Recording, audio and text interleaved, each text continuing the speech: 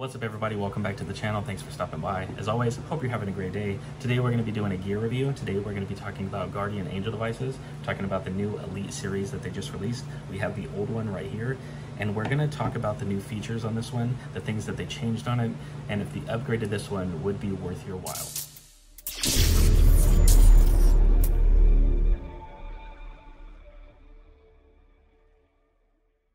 So just like the old ones, they have an infrared and they have a non-infrared series. We have both of them right here. The infrared series has this button right here and it just makes that light strobe. This one is the one, it's about $30 cheaper and it has no infrared and that light is just an LED light and it just shines up and if you press it again it does go into an SOS. So both of them are very beneficial no matter which one but the IR one, the infrared one does cost about 25 or $30 more. I do have the red and blue series on both of these, so there's no difference except for the infrared and the SOS. Everything else works exactly the same.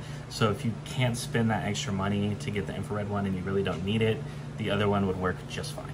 One thing the older one had was I carry mine, I keep it mounted on my shoulder right here. Reach up, you would press the button and it would shine a flashlight. Press it one more time and it shines a red light. And if you work at nighttime, that kills your natural night vision before you get to the red light, which doesn't kill your natural night vision. So it was a little bit counterproductive, but they fixed that in the new series. You press the front button right here and it turns the red on and you do not cycle to white at all, but you can press and hold it and it will turn white on. It does have red and blues on in the back and the light on in the front. Press it again, it goes back to red, press it again, and it turns off. And you're not going to go through the white unless you press and you hold it. So that's that's for me that's a big key thing that automatically makes it worth the upgrade from the old one to the new one if you work in the dark if you work at nighttime.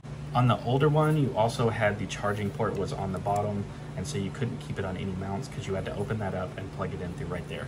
You couldn't keep it on a mount. The mount that comes with it is this one. You couldn't keep it on there. You couldn't put it on any other mounts while you were charging it because these mounts they are magnet mounts but you can also screw them to the device with the four screws on the bottom. So if you have it permanently mounted to something, it can be a pain in the butt to have to take the whole mount off with the Allen head screws just to charge it. And so they changed it on the new one and the charging port is actually on the side. It still takes the USB-C. It does come with a USB-C cable. It is a short one, so if you need a long one, you're gonna have to get that one yourself. But with it being on the side right there is very beneficial because you can keep it on any mount, you can keep it mounted to anything, and you don't really have to take it off. One thing that really impressed me about the charging ports on the old one was it had a rubber ring on it. I actually turned it on just like this, red and blues all the way around. I put it in water and I froze it and I went back and we froze it for 13 and a half hours. If you go to my Instagram, there's actually a video of it and then it was still working. It worked through the whole 13 and a half hours underwater, completely frozen, sitting in a freezer. And speaking of 13 and a half hours, I, it takes less than two hours to charge this thing. And whenever I got my first one, I turned it on just like this, red and blues with it brightness all the way up. I left it on the countertop inside of a box and it ran for 57 and a half hours. Show me another battery that does that. I mean, that's a long time, especially if you get lost out there, if you're hiking or if you get in a wreck or something and you need that light for a long period of time, that's outstanding. They'll last that long and you don't have to worry about anything. And they have every mount possible. I have a bunch of them right here and I mean, they have them where you can put them on handlebars. They have handlebar ones. They have windshield ones. They have wrist strap ones. They have hat clip ones. They have backpack clip ones. They have this tether that is a quick release tether that you can tie to it. Honestly, they have every mount possible. And like I said, every mount you can take the screws off and you can screw the device straight to this if you're worried about the magnet not being strong enough. But that magnet is very strong.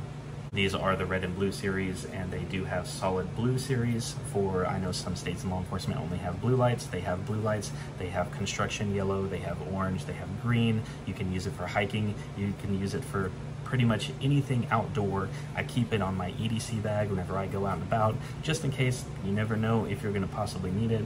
And every mount is good because I go fishing, I can put it on my kayak, I can put it on a bike.